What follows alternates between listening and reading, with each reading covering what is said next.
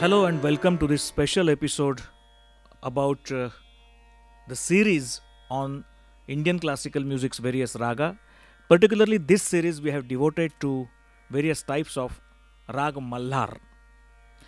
Rag mallar has got a very rich tradition, very old tradition, more than seven to eight hundred years in Indian classical music. There are so many evidences, right from Meghaduta up to various folk musics, then abhangas and kirtanas and all other aspects of semi-classical music and classical music also, that rag mallar has been sung by various singers uh, in various creative ways. So there are so many types, and today we have specially invited a well-known singer, Mrs. Savani Shende Sathe. Welcome to this program, Savani ji. Today we would like to get enlightened on specific type of rag mallar, that is Megha mallar. Yeah. Earlier we have seen so many types of mallar, but we would like to know that how this particular type of mallar is different from other types of rag mallar. Today we are looking at Megha mallar. Yes. Would you elaborate on this? Of course. First and foremost, would like to elaborate on this point that many singers tend to just uh, note this mallar as meg, but it is already understood that meg is a type of mallar, so meg mallar is the same as just meg. Talking about meg mallar, it is unique in this way because, like any other malhar, this malhar does not have two nishad and komal gandhar, which are the typical characteristics of any malhar. Any malhar, if you um, try to sing or play, one will find that it either has both the nishads or the komal gandhar, or both nishads and the komal gandhar, or just the komal gandhar. So this is unique in such a way, in such a fashion that Megh Mallar does not have all these typical characteristics, but still it denotes the main uh, atmosphere of Malhar. I would I would request you to demonstrate on the basic notes of Yes. uh, Megha mallar Yes. so that our students could understand that. like I told you, Megh Mallar has only one nishad, that is Komal nishad.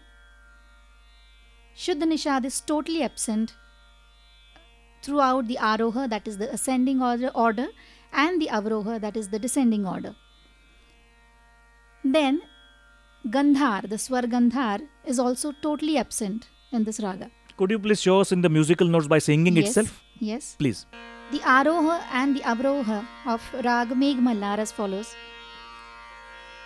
Sa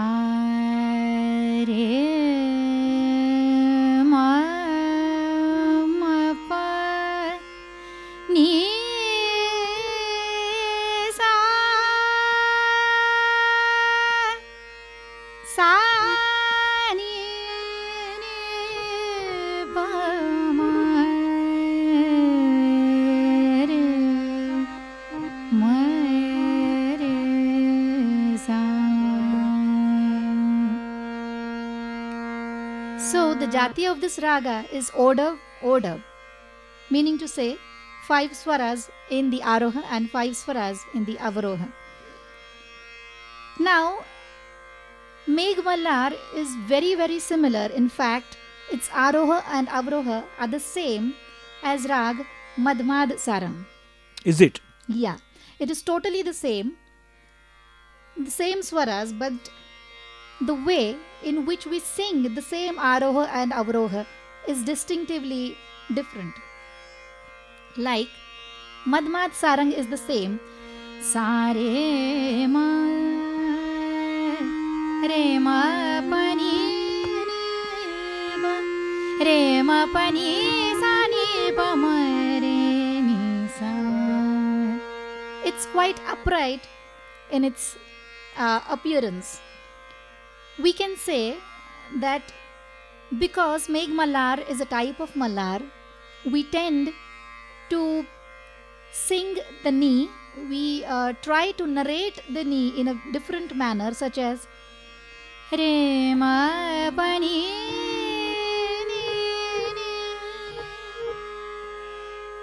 Hindustani classical music language, we call this as the Andolan. Andolan. Yeah. So, re ma pa ni. This indicates the gathering of clouds, which happens gradually, and that is depicted by Komal Nishad. This means the way you uh, place uh, the sur for Nishad Yes. and uh, the way we call it thera or you take a pause in giving some creative treatment to Nishad. That's right. That is the difference in between Yes. two ragas. And the number of oscillations we uh, try for singing Nishad. And Nishad is not alone, like it stands alone in Rag Madhmat Sarang. In Madhmat Sarang, the Nishad will sound like Re ma pa ni. Whereas in Meghmalar, Nishad is like Re ma. It comes with its companion Shadaj. Like now in the Madhya Saptak, Meghmalar is a raga which uh, finds its beauty in the Mandra Saptak also. So, sa ni ni pa ni ni ni sa re ma re ni ni. This is typical Meghmalar. Also, a distinctive feature which separates its uh, uh, identity from Madhmat Sarang is Sare ma pa. Straight notes sung in this fashion is Madhmat Sarang. But for Malhar, the main distinctive feature of Malhar, of any type of Malhar, is Ma re pa. This we will have to totally omit while singing Madhmat Sarang. Ma re re re pa. Ni ni pa ma pa ma pa ni ni pa ma pa ma re re pa. And this is again matched by ni ni ma re re ni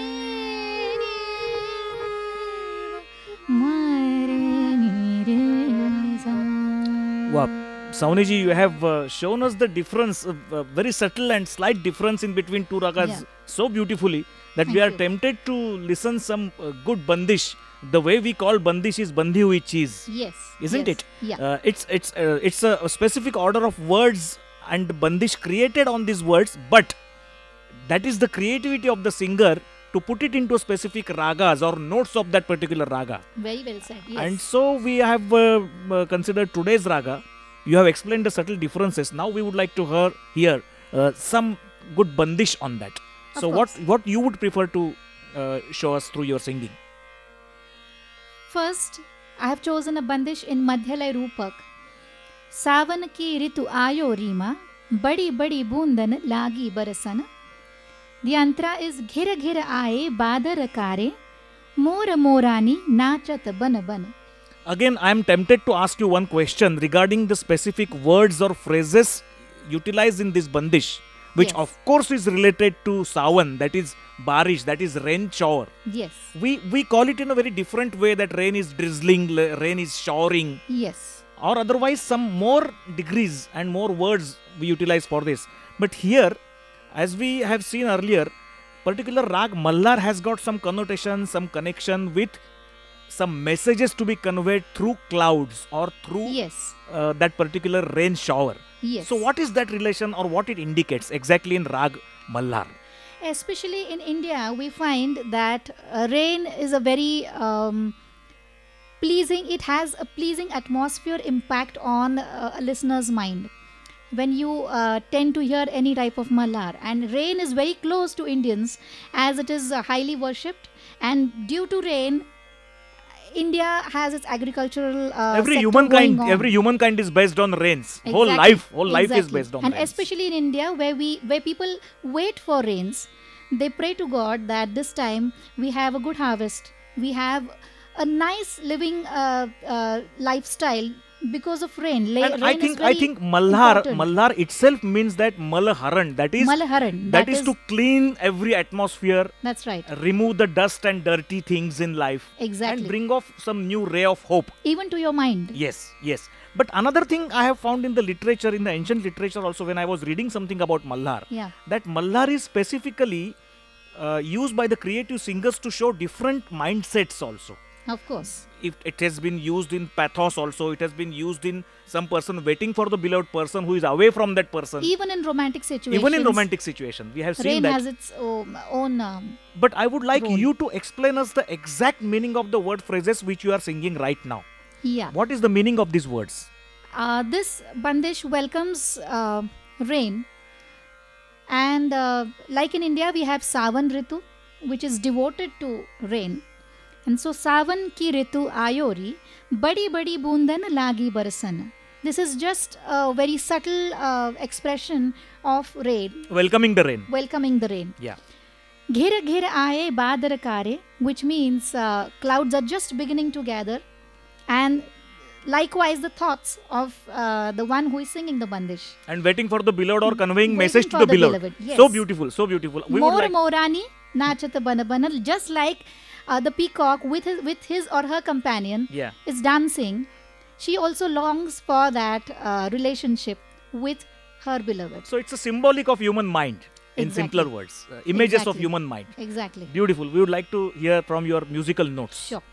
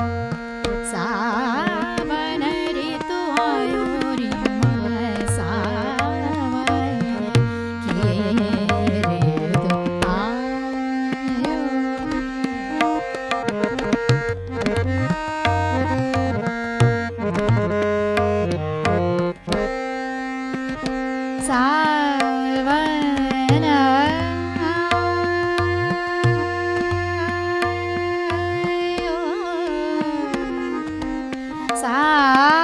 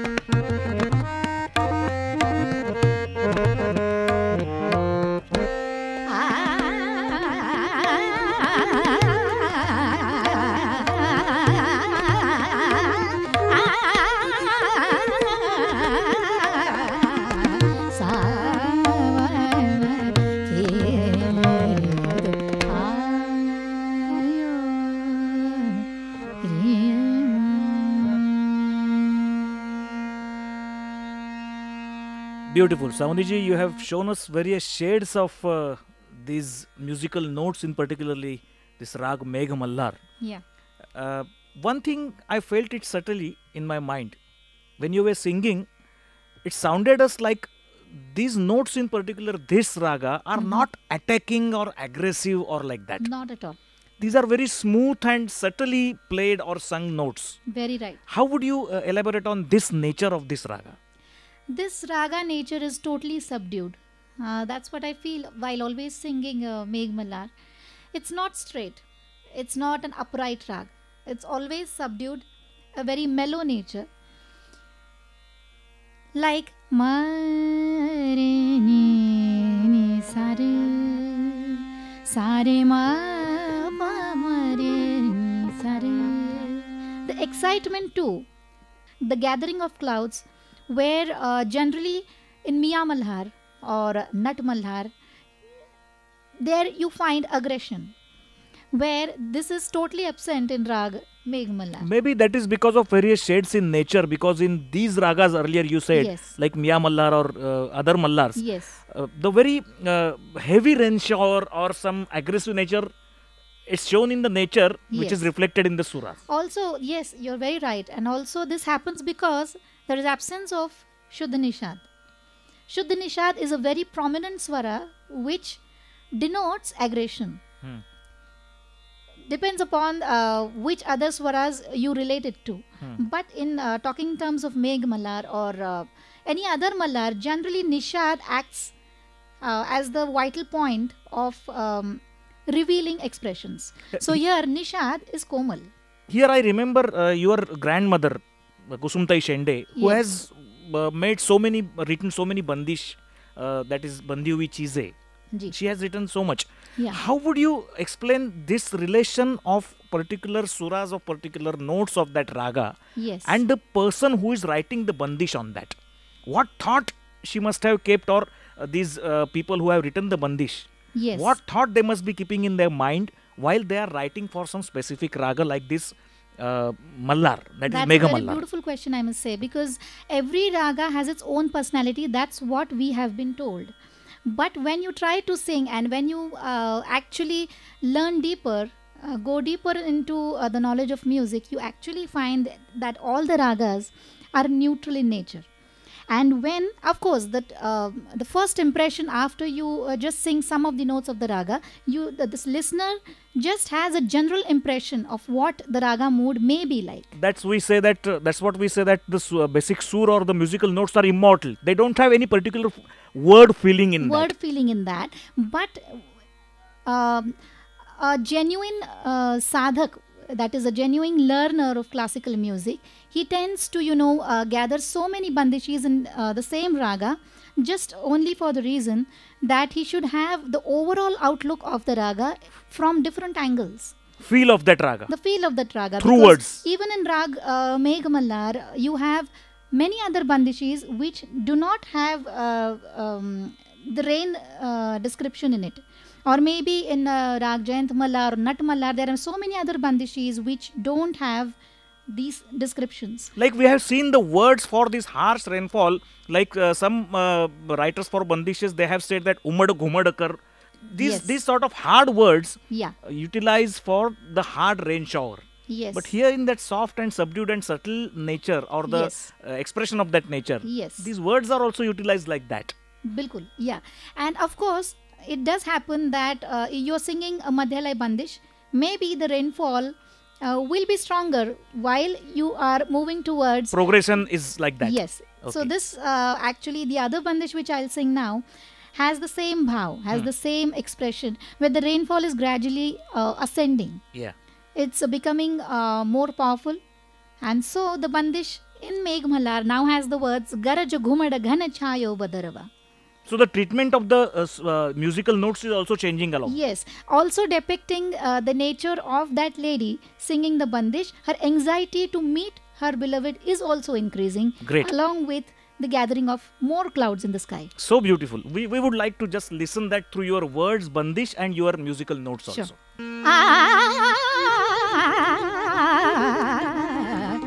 गरज घुमड घन